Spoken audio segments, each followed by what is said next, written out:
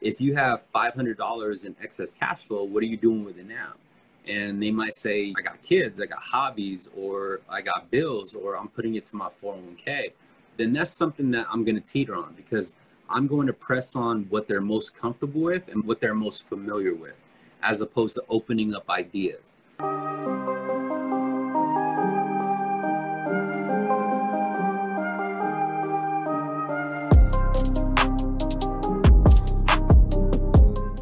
D, how do you sell a client who is going through a refi and you use the savings, the refi monthly going back to a 30 year fix and putting into savings account with a return of 6%? That's pretty deep, Vicky.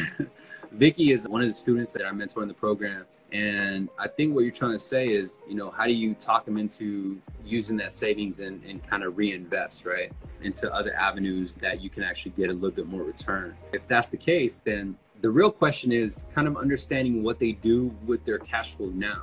And so, in other words, are they even investing, period? Because I'm not trying to open up an idea that they're not comfortable with or they're not currently doing now. So, I'm gonna ask them certain questions like, if you have $500 in excess cash flow, what are you doing with it now? And they might say, I got kids, I got hobbies, or I got bills, or I'm putting it to my 401k then that's something that I'm going to teeter on because I'm going to press on what they're most comfortable with and what they're most familiar with, as opposed to opening up ideas. But if you have a savings account that turns back 6%, please believe, let me know, DM me.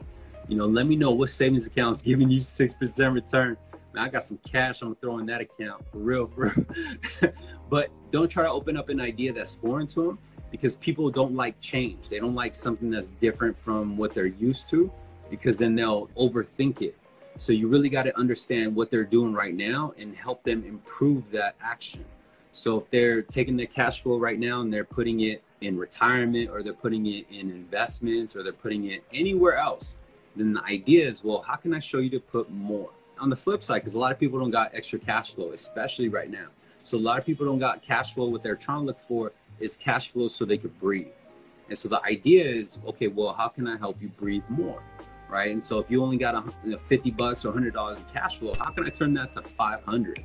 How can I help you so much to where you don't got to stay up all night, right? And worry about next month's bills. And so I think that really is the idea.